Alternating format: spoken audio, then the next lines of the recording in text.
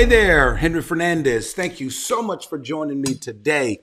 I want to address something that, if you're not careful, you will fall a victim to, and that is losing yourself in the process. Anything that you're doing in life, if you're not careful, you can lose yourself. So I want to talk to you about don't lose yourself. You are the only you that exist. Believe it or not, you are the only you who exist, if you will. There's not another copy of who you are. You are the original. And if you lose who you are, then you become a copycat of really, you know, what you're not. So each of us, I believe, we possess unique qualities the day we were born, God gave us unique qualities. You're different from me. I'm different from you. You are absolutely different from everybody else, right? And God created you that way. Qualities that are in you must be nurtured. If you don't nurture those qualities, you won't be successful. You will live your life attempting to be who you are not. And uh, only to find out that you end up being a failure in the end because you're trying so many things. And so many people are guilty of this trying so many things and never master any. You know, one of the things I got to tell you to do, you must find your niche in life. When you find your niche, when you find what you were born to do, oh my goodness, it changes your entire outlook on life. So, whatever you do, don't lose who you are. I know a lot is against you. I know that you feel like, you know, really you just, you, it doesn't make sense you try anymore. Especially women um, find themselves at a place where, you know, they give so much because by nature, they are the ones who give birth to life right? A woman gives birth to life. And if you're not careful in giving birth to life, she loses her own life. Never allow that to happen. You see, giving birth to life, whether it is a physical child or giving birth to your home, your, you know, your ministry as your role as a wife or a businesswoman or working in corporate America, in government, no matter what, in the school system, you've got to make sure that while you are giving life to others, you don't lose yourself. So believe it or not, there uh, is only one of you in the earth, which I just spoke about. There's only one of you. And you need to be careful that you don't get caught off guard spending quality time, you know, um, whether it's on social media, media, or group conversations, group chats, trying to understand other people, trying to discover other people's um, niche or trying to figure out what other people are doing, that you lose yourself, that you don't spend time finding you. That's why I don't understand people who gossip. I really don't. I don't. Because you find these people who gossip, whether it's in group chat, digital gossiping. That's a new term now, digital gossiping. You know, one time, you know, gossip would be, you know, electronically, maybe on the phone or in person, but digital gossiping is what's really messing up this world today because you've got at your fingertip, you know, all of these social media platforms, these apps, and you can chat and and you know, uh, I'm not involved in those things, but it's amazing, you know, what you hear that the chat rooms, and when people say chat rooms are lit, then you have to ask yourself the question is it lit to edify or is it lit just to get, get you to spend so much time trying to catch up on things that doesn't even concern you? Think about that. Things that doesn't even concern you. You know, I remember years ago um, on television what blew up was reality TV. Remember that? Reality TV. When reality TV started, you know, a lot of us resented it because we know it was a dangerous path, right? Um, it, it, it's people allowing cameras in their private lives, and some of it was just a show, really. It, you know, the producers create scenarios because they know what sells. Come on now, you know what sells is gossip, trash, sex, because that's what society is craving for. And while, watch this, it may feel good, the truth is, in all of it, you lose yourself. Because people who spend time in chat rooms and they gossip and so forth, a lot of times that that's precious time wasted when they could use that time, redirect that time to better themselves and encourage themselves, uh, uh, you know, uh, to, to do better. So uh, you, you got to make that commitment from today to say, I am not going to allow myself to um, be lost while you know I, I, am busy doing things that doesn't edify uh, me. You see, each and every one of you who are watching or listening, you're driving, you're you know you're hustling you, you, know you're doing your thing to make life you have to ask yourself the question and you have to truthfully answer this question why did god allow you to enter the earth's atmosphere why think about it First of all, you are not an afterthought. And I want to talk to every person there. Let me talk to the women first. I want to talk to women I, I, it doesn't matter. I, I, don't care of your past. I don't care how you, you don't know your daddy. Um, you probably probably your parents were not good parents. You know, you hated it. You, you felt shortchanged. Um, maybe your first boyfriend broke your heart. Maybe men broke your heart, and you're bitter. You're angry. Maybe you're a divorcee. Uh, maybe you are a rape victim you know, that's a big thing now, the Me Too movement. Uh, maybe you felt violated. The list goes on and on. I have to tell you this you have to get to a place where you have to owe yourself, watch this, owe yourself the responsibility of making sure that you matter in this world that you matter. And if you don't consider yourself important, no one else will. That's why people will abuse you, take advantage of you. There are men who also went through, whether it's sexual molestation, men who grew up without a father, men who who confused identity, uh, men who are struggling with, um, you know, making ends meet, struggling educationally, struggling with their career, struggling health wise, and so forth.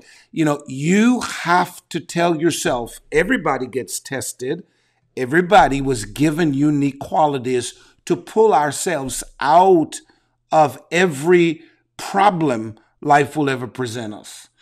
And make sure we matter. Make sure our footprints are on the earth. Make sure the path that we take is very fulfilling. You have to listen. I get it. I, beyond the fluff of Christianity, I, I, get that. There's a fluff of Christianity.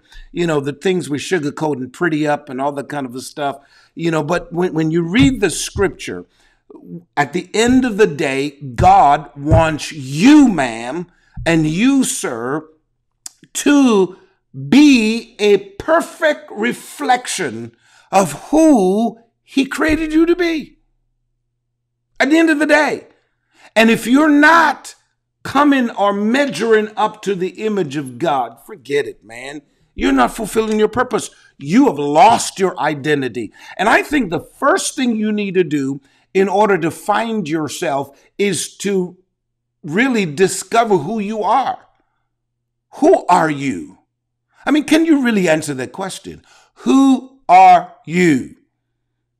I mean, does your definition of who you are is it based on what someone told you? Is it based on what your parents just said? Uh, is it based on what your boyfriend is telling you, your girlfriend is telling you? Is it based on what your husband or your wife is telling you, your children or your best friend? Uh, is it based on what society is is telling you, regardless of what country you're from? You know, who are you? Until you answer that question, you will forever, ever lose yourself to people, systems, and culture. That's it. Because people don't know who they are. They try to fit in. And I have to tell you, you don't fit in everywhere. Please hear me. Young lady, you don't fit in everywhere. Middle aged woman, Senior, you don't fit in everywhere. You have to embrace who you are and embrace every stage of your life. Oh, that's a big one. Oh, God. Embrace every stage of your life Live it to the fullest, of course, in God's way. So when you're a teenager, please, as you're listening as a teenager, live your best life now. Maximize your full potential in that stage of your life because you're only there once. Once you pass that stage, you can't go back. Now, you may try to fit in, but you can't. Right? You can't. When you reach that young adult um, age, our stage, you know, that's it. You can't go back. You know, that stage is the stage where you're trying to find yourself. And if you don't really find yourself in your young adult stage, God help you. You know, by the time you reach your your 40s and your 50s, um, you know, I'm telling you, you you you may end up being disappointed. And there's so many people in their 40s that I, as a spiritual leader, in counseling and talking with them and listening to them, I recognize that they don't even know who they are. They've lost themselves in the process. And we're going to talk a little bit about that, you know, how people will lose themselves, uh, uh lose themselves, I should say, in the process. So you have to answer that question. Why did God allow you to enter the earth's atmosphere? There has to be a reason. You are not an afterthought. He brought you here for a reason. I had to answer that question uh, one day, and it took me late in my, you know, adult age stage, if you will, to come to that conclusion that wait a minute, there's more to Henry than what the eye sees. You know, there's more to me than what people think. There's more to me than what my feelings is telling me. And I had to have an encounter with me who am I? Don't don't don't not based on what people say, not based on no, what society. Who are you, Henry? And I found out that there's some qualities in me that God blessed me with those qualities. So I start working those qualities. I start developing those qualities. And I've discovered that I am a better version of who I am when I just be who God has called me to be. Oh, that's good. That's good.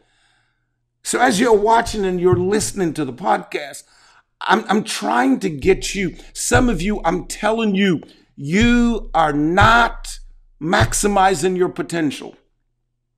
Here it is. You're a very attractive young woman. You're a very attracted, attractive middle-aged woman. You are in your seniors. You are attractive. You're a handsome young man handsome middle-aged man. I mean, you've got a lot going for, for you. Looks are great. You're wonderful. You've achieved a lot of stuff. You've got your education, your degree, uh, and, and, and all those kinds of things, but but you feel empty. You're insecure, right? You're a ticking time bomb. You you're fragile. And I understand some of you are breaking down right now and tears running down your eyes because you know I'm talking to you. You feel unfulfilled. You just feel, you just, you know you're not what you're supposed to be. You feel empty. You feel lost. You feel like you've been used, abused, and you just feel rejected. Come on, you know all of those things, right? And the enemy, oh, some of you have allowed the enemy to use your mind as his playground. I mean, he is just getting into your head. You're hearing voices. You can't sleep at night. You're frustrated. You're, you're, you're full of anxiety, all those kinds of things. Listen, when you answer that question, who did God call me to be on the earth? When you answer that, it changes everything. It changes everything about who you are. So I want you to first do that. Before the end of this day, pray this prayer God, please help me to discover why I came to earth. There has to be a reason. Jesus came to earth for a reason. Moses was born for a reason. Joshua was born for a reason. Come on now. Adam, Eve, all were born for a reason. The first two human beings that was never birthed out of a woman. Adam was birthed out of God, created from the dust of the earth. The woman was birthed out of a man. Crazy, right? And then ever since God then orchestrated it where life comes from the woman now. Every woman came uh, uh, on, on the earth for a reason. Naomi came, Ruth came for a reason, Esther came for a reason. The harlot, the prostitute came for a reason. The woman at the well came for a reason. And the list goes on and on. All of us are on the planet for a reason. You are unique. And God has an incredible love for you, regardless of what you've done. Some of you, you know what? Yes, let's just be honest. We've all done some stuff, man, that we're not proud of, our past. Sometimes, if you don't get delivered, if you don't ask God, you know, to help you to clear your mind and somehow let the Holy Spirit becomes your, uh, what they call it, um, your, um, your virus protection, if you will. You know, in a computer, you have these virus protection um, software, you know, that will prevent your computer from get, getting hacked or, you know, getting, you know, hacked with a virus and so forth. You know, the Holy Spirit will help you because, you know what, once you ask God to, for forgiveness of your past, then that's it. Don't let it torment you. Because all he wants to do is to let you not know who you are and you wonder in life for years, missing out on what God has in store for you. So never lose yourself to anything in any stages of your life. Never. Never lose yourself while pleasing family. I'm going to list a couple of things where many of us lose ourselves. Never lose yourself while pleasing family. Take care of your family. Some of you got your uncles, your cousins, your aunties, your nieces, your nephews, you name it. You know your whole family. If you're not careful, family could be the ones who test you the most. Family can cause you to live bitter and in anger. You cannot allow that to happen. Some of you are constantly given to family, not just money, but given time always there to bail them out in whatever form or the other. You got to be careful that you're not giving so much to your family that you lose yourself. And that sounds cold, right? Because your family is there to, of course, as a support. You love your family. That that I understand that, but you cannot afford to give so much to them that in turn you lose yourself. And you do know that your family members will will in a heartbeat you know. Have you noticed a lot of times when you need them you can't find them?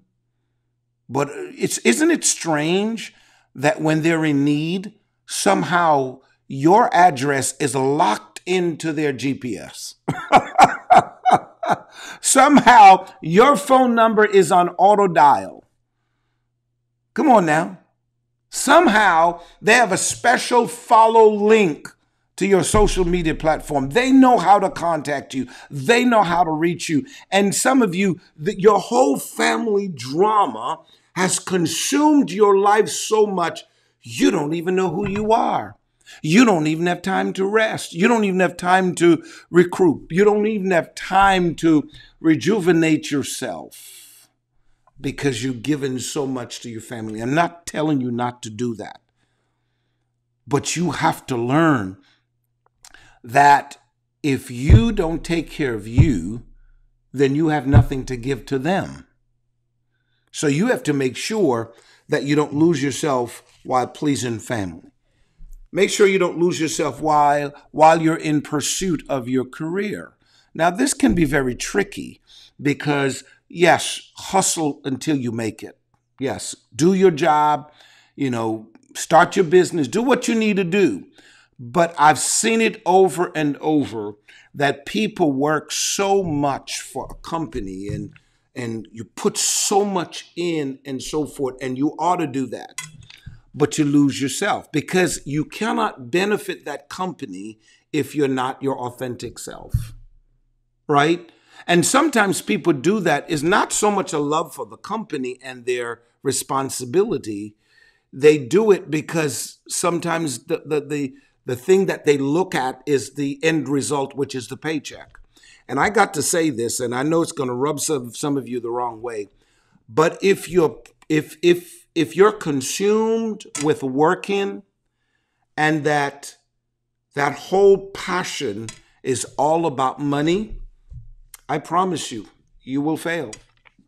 You will end up may have a lot of things if you spend your money wisely to show for your effort, but in the end, you're going to render yourself unfulfilled. Do your job, go to your job, but you can't work every day, don't have enough sleep. Get in, you, you just can't do that. No social life. How, how in God's name you work in, say, 15 hours? I'm just throwing that out 15 hours a day, and you're working six days a week, seven days a week, but you're praying and saying, God, you know, I want I want a husband. I want a wife. You know, I want to have children. I want to have how where where are you going to find time to date? You know, and and and there is such a thing where you have to draw the line in life. You have to make a decision in life that you know what uh, there's a limit. There has to be a limit because if you don't set boundaries, oh my goodness, I'm telling you, it's open field for the devil. So you've got to make sure while you're in pursuit of your career that you don't lose yourself. Find time to relax, find time to rest. You know, I have a, a philosophy that every working person, I don't care what level of job you have, what pay scale you're at, every person once a year should take time and get away from it all. I'm not telling you to travel to Greece, Paris, the Caribbean. But even on a minimum wage job, you can get in the car, drive down to Fort Lauderdale Beach, drive down to the beach in your area if you're in the central part of the country, drive to some amusement park somewhere, do something, unwind, do you, find something that makes you relax. Get away from work for a few days, take vacation, right? And when you, t- you get, say you take a week off, somebody may call you, girl, I got a, I got, I got a little extra job for you and so forth. It pays this. Sometimes, you know, you may need the money, but if you're that desperate that you have to go get that job to hustle to make a little bit more money, you, you may be over your head. You may, see, the life that you need to live, and please hear me, the life that you need to live is a life where you're content. You can't have it all at the same time. You can have all that God wants for you, but you must understand that those things will come in stages. But you can't just have it all in one year. You can't burn both ends of the candle at the same time. It's got to be one. Have you ever heard that phrase before? So be careful. Make sure that you don't lose yourself while in pursuit of starting or maintaining your businesses. So again, this is another problem area. Some of you are running your business, some of you are working uh, you know, for somebody else, but having a part time business, do not lose yourself. It's it's only one of you. You're gifted, and and if again, I want to talk to people who are hoping to have a, a partner one day. It is unfair for you to overwork yourself, exhaust yourself to the point where you don't even know who you are. You've lost your joy, your happiness. You're not good company anymore. You're miserable. You're stressed. It is unfair for you to connect with another human being, and that's what you bring to the table when you marry them. It's, it's totally unfair. I think no one should get married until you are mentally and emotionally healed. Don't you ever get this twisted that a man or a woman can make you happy. I keep telling you all that. No human being on this planet can make you happy. You have to own your own happiness. Own your own happiness. Create your own happy space. So when someone comes along you set the standard. You are demanding that they can't come and threaten that peace that you have. They can only come and see that you are loved, by the way. You are already loved by God. You value yourself. So all they're going to come to do is to enhance that love, is to glow in that love. So as a woman, when you marry a man, you know, you know, he's not going to come to find out that you have self esteem issues, um, that you have um, issues with your identity, your personality, and you're grumpy, you're grouchy, you're miserable, um, you're very sensitive, and so forth. You know, he, he doesn't have to come to deal with that. He shouldn't have to come to deal with that. He'll come and find that you you are a settled woman. So now, watch this. He's at peace with you. He then can function in his role to, to love you because you see, you love yourself, but the Bible commands a man to love a woman. Uh, you know, I saw this the other day and I so agree with it. There's nowhere in the Bible, and I know, listen, I don't have time. This is not the subject. I'll do it another day. Uh, there's nowhere in the scripture where it says a the Bible commands a woman to love a man. Check it out. What the scripture says that Husbands, love your wives according to how Christ loved the church. Go look at the woman's role of what God said a woman ought to do to a man. Because the woman should already possess the love for herself, the love that God has given her by loving. Men don't struggle with, you know, some men do, but men by nature, it's not so much, this is shocking it's not so much love we're looking for. No. Men are just looking for a safe place, peaceable place. If you can make that man's life peaceable, where he can come home knowing that it's a safe heaven, it's not a judgmental zone, it's a place where he can be at peace, he can be himself. He's not attacked. If, if he can come and feel that way, it's easy for him to love you. So I'm going into a whole lot of stuff. That's a whole nother podcast, right? But but the love that you have for your business, if if you have so much love for it that you lose yourself, then when you get married, that no wonder it's not going to last. It's not going to be effective. It's not going to be loving because you are a workaholic, whether a man or a woman, and uh, you know, when people get together, people want to know that you value them. Okay? Um, some people lose themselves in dating. How is that possible? Because when you're dating somebody, if you're not careful, you consume your life trying to please them. And I got to say this to singles, man. Stop killing yourself to please people. That woman you're trying to please, you know, woman will say, I like you this way, and you know, you this and you got to do this for me. And a woman will demand, well, you got, you know, I hear it. And I know you're going to attack me, ladies.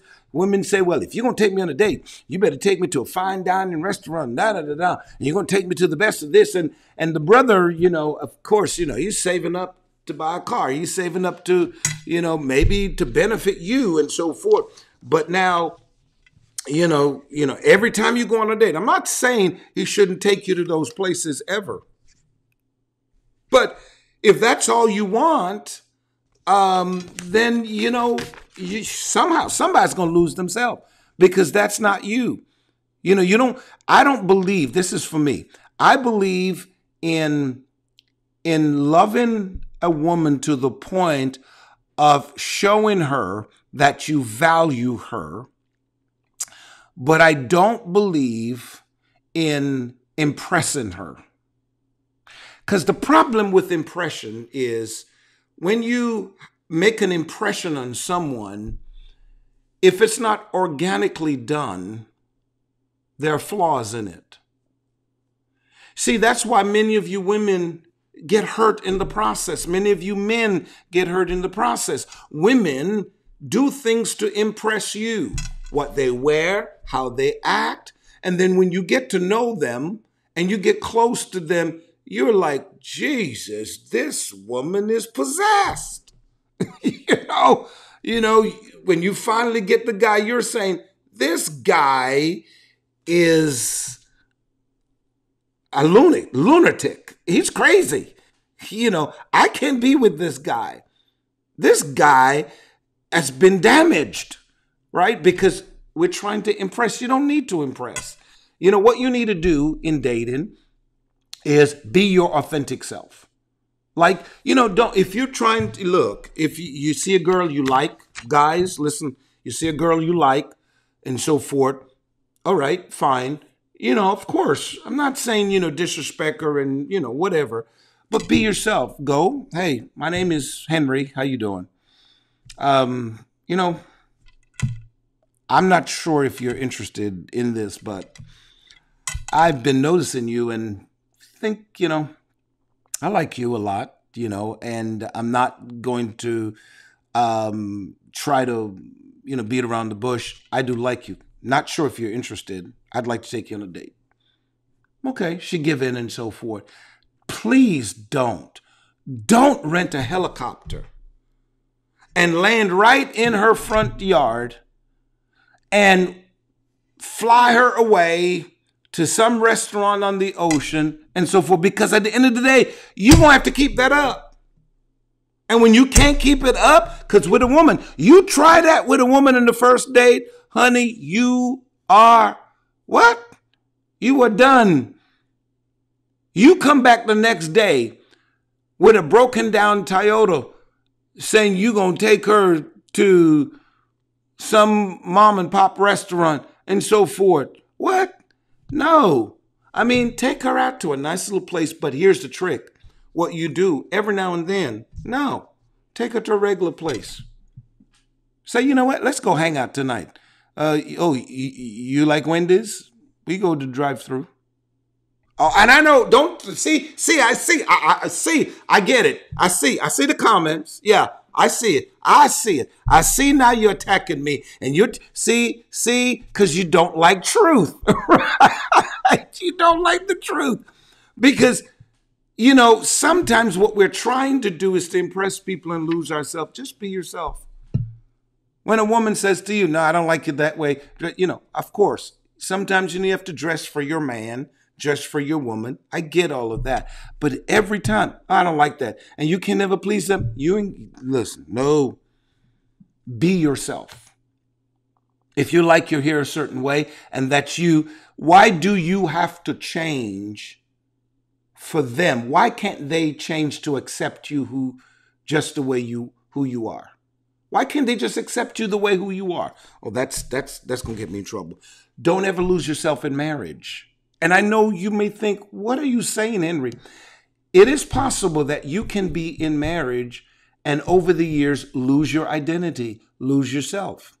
There's so many women, um, and, and in cases men too, but in particularly women who for years you devote yourself to the man, you give him kids, you, you do all the stuff, you're there in the home, and you're doing and you're doing and you're doing and you're doing and you're giving and you're giving and you're giving and you're there and um, he's working hustling out there. And sometimes he does crazy stuff and and you forgive and you forgive and you forgive and uh, you lose yourself in the process. At the end of the day when he walks out i want a divorce or he just says i'm tired i'm done whatever or he's deceased then you realize you don't even have a life because in the marriage you never took time out to be you because you're always walking on edge because you have to always please him and so forth. Be yourself. Every now and then, you know, uh, you got to say, I got to get out of this house.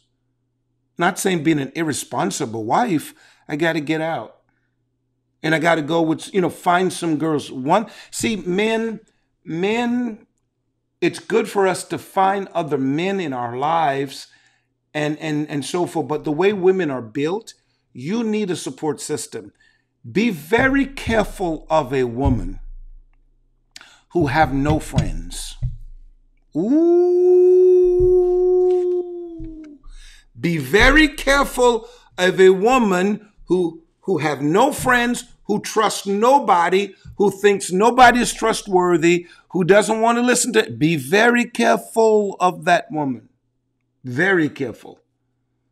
A woman needs a support system, a good girlfriend that she can lean to, one that is trustworthy, one that she can hang out with, one that she can say, let's go to the mall. And not a pest, not going with her and want her to buy her clothes. No, you want a girlfriend that when you go to the mall, you buy your stuff, she buy her stuff too. We just hanging out. you know, a girl that when you tell her your issues, seeing jealous over you and want what you have. See, you want that kind of a friend, but don't lose yourself in marriage. So many women in marriage, you lose yourself as a wife, you lose yourself as a mother. You give so much to your kids, and by the time they grow up and go to college, and you, you know, here it is, you've given them all your money, everything. You denied yourself. They're off got with their boyfriend, got with their girlfriend, will give more to their lover. You'll be home needing $10. And if they had $10 and had a choice to give it to their boyfriend, they'll give it to their boyfriend in a heartbeat versus giving it to you. So don't ever lose yourself. And I could go on and on. Just figure, just imagine, because I'm running out of time here. The stuff that you can do to lose yourself in marriage. Don't ever do that. Same thing with men. Don't ever lose, lose yourself in parenting. I talked a little bit about that. And then in the pursuit of wealth. Yes, get all the money you can. I, I, I am one who teach people, you know, to gain wealth, you know, live a, a, a, a budgeted life, a life that you have a budget, you know, um, and plan and, you know, there's ways to gain wealth. It's not going to be overnight, you know, and so forth. But don't go after material things so much that it costs you who you are. It's not worth it. I hope I helped you today on the podcast. Make that decision to live your best life your way according to God and make sure you don't lose yourself in the process. I love you. Thanks for watching. Please send me your comments, and I can't wait to talk to you again on the next podcast.